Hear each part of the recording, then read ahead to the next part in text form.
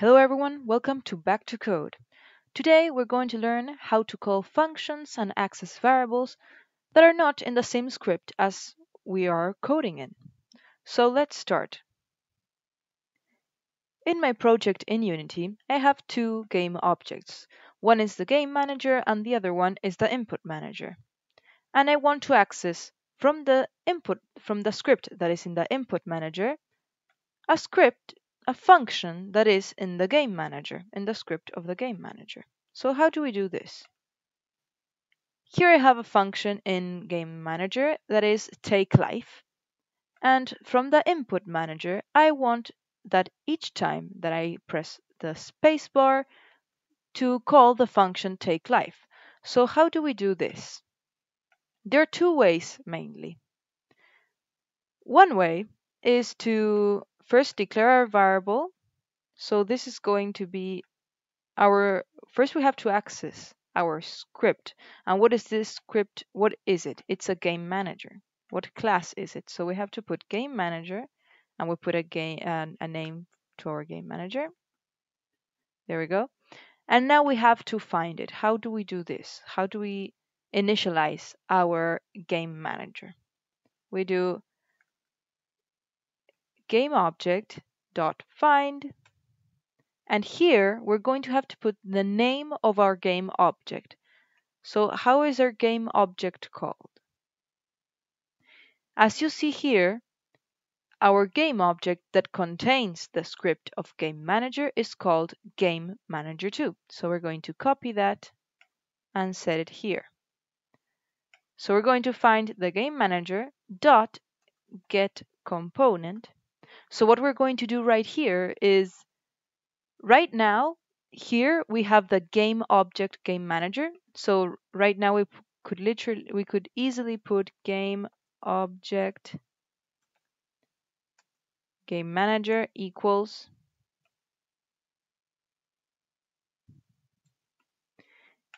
here so here we have accessed the game object, so it would have the whole game object, but we want to have the script specifically. So how do we access this script? We put dot get component, and here we have to put the name of the class of our script. And what it is, it's game manager. So we're going to put there. And now we have the script, so now we just have to assign it so we're going to do game manager equals, and here we have the script. Now if we want to call the function that is called take life, we just have to do game manager, our script, dot take life, and that's it. Take notice that here the function has to be public. To access it, we it the function has to be public. And well, that's it. Now we can call the function easily. Now let's try it out. So let's say here we have the life is 3. We put play. And each time I press the spacebar, the life will go down. Great. Now there's another way, and I would say a simpler and better way, is for this script not to find the game manager and do all the work. We're going to comment this. What we will do here is set this as a serialized field. What this does is permits us to just drag and drop the game manager here and that's it. So what we're going to do is just tell it where the script is and make it sim simpler so it doesn't have to search for the script by itself. So this would work too. Let's try it out. So there we go. Each time I press space, the life will go down. And those are the two ways in which you can get a function from a different script in which you're standing on. Now let's say we want to get uh, the variable here that we have of life. How do we do this? Let's say uh, we want to print it. So we're going to do print and we want to somehow do something the way like this, and get the life. To do this, there are two ways also. You can just create a function here called public um, int get life.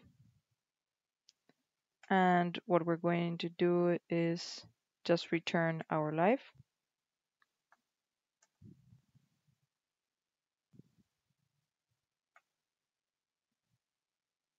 So from the input manager, we just put game manager dot, and we access the function as we just did with take life, get life. So let's try this out. Each time I press the space, here it's accessing the life. Right? So that's how you would get it. Now, if you want to set it, you would just have to do the same thing with a new function, public, where you would wouldn't have to return anything, void, and set life. And here you would have to pass what life you want to set it in. So let's do int new life and do uh, life equals new life and that's it.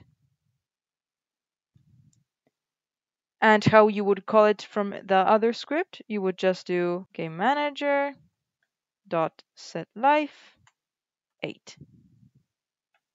So that's how you would get and set a variable. Now there's another way to get and set variables that are in another, in another script.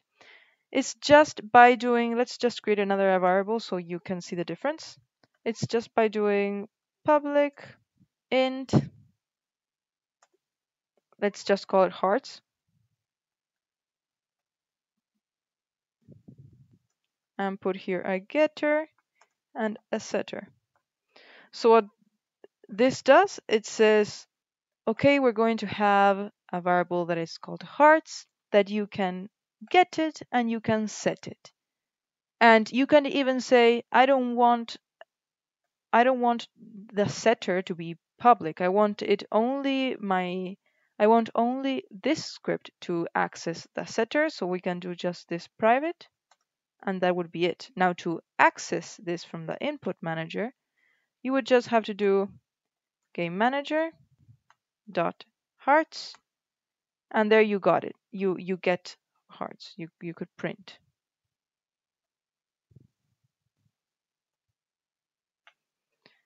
And if you were wanted to set it, you have to take this private from here and say game manager dot hearts equals 9. But if we put here private as we had it before, it would it will have an error here. Now, when to use this and when to use this other one basically if you have to validate anything so here if you want to set life and you say okay you can uh, anyone can set the life but you want to validate if the number is bigger than zero so perhaps you have to say